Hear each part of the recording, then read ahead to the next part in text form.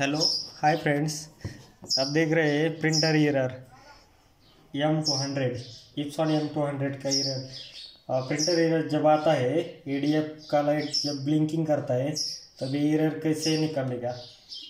देखो। सेंसर है, इधर एक स्प्रिंग है।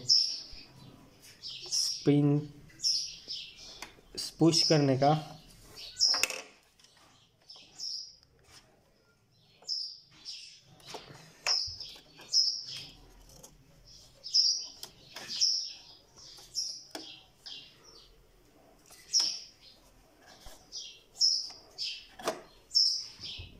अब रिस्टार्ट करने का।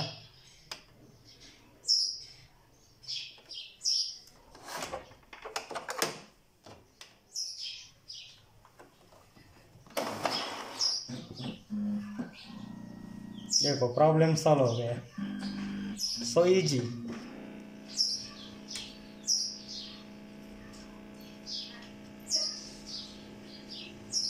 thank you friends